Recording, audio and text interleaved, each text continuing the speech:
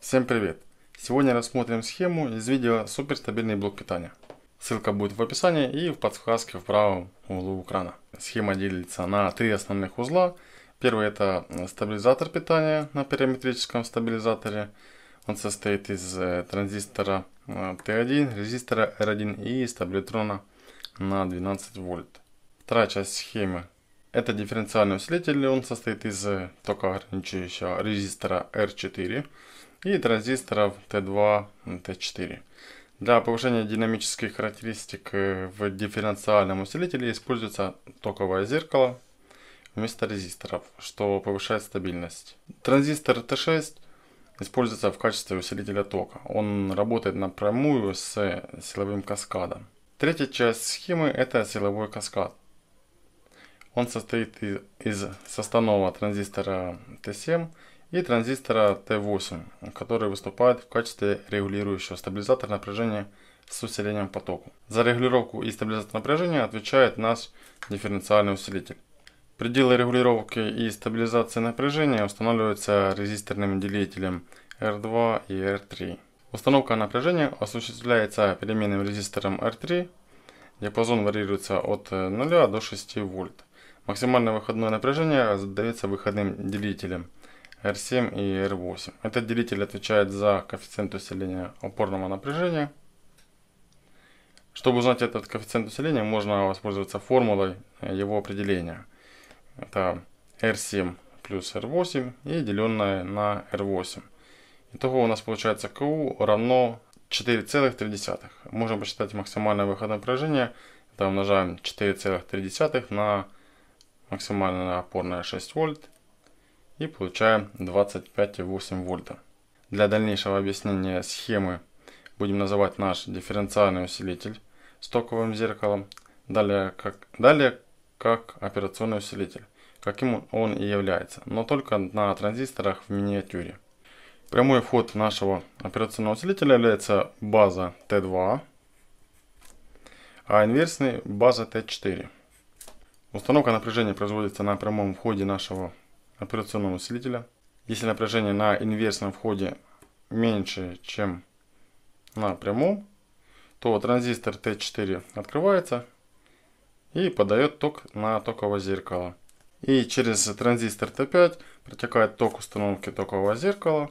Если протекающий ток э, через коллектор-эмиттер э, транзистора T3 меньше, чем на T5, то T3 открывается полностью и шунтирует базу транзистора T6. При этом через резистор R5 заряжается конденсатор и открывается транзистор T8. T7 приоткрывается и появляется напряжение на выходе.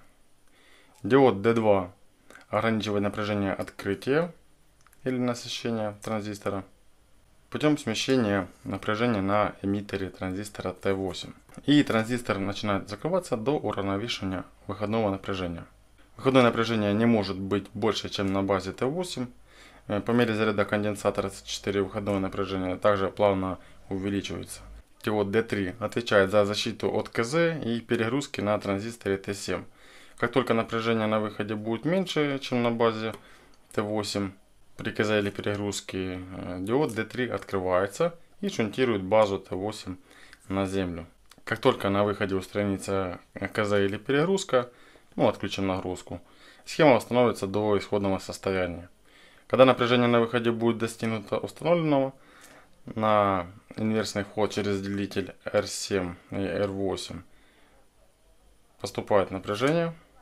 Напряжение на инверсном входе увеличивается и когда она будет немного больше, чем на прямом входе, транзистор T4 закрывается.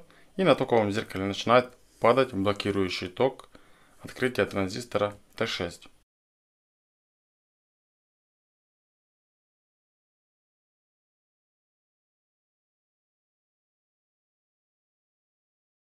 Транзистор T6 открывается и уменьшает выходное напряжение э, до уравновешения напряжения на прямом и инверсном входе. Также немаловажную роль играет э, резистор R6. От его номинала зависит выходной ток, протекающий через T7. И в зависимости от выходного напряжения максимальный ток тоже будет изменяться. К примеру, при напряжении 12 вольт выходной ток будет составлять примерно 2,5 ампера. А при 5 вольтах 1 ампер. Это считается так. Выходное напряжение делится на э, сопротивление R6 и умножаем на 1000. Это коэффициент усиления транзистора T7. При превышении тока нагрузки на коллекторе транзистора T7 будет снижаться напряжение. При этом наш АУ э, попытается его поднять до странного уровня. То на конденсаторе C4 напряжение будет повышаться. И как только разница напряжений на конденсаторе и выходе будет составлять больше, чем напряжение перехода D3, транзистор T8 мгновенно закроется. И минимальное напряжение на выходе приблизительно 0,8 или 1 вольт. И посмотрим на нашего красавца.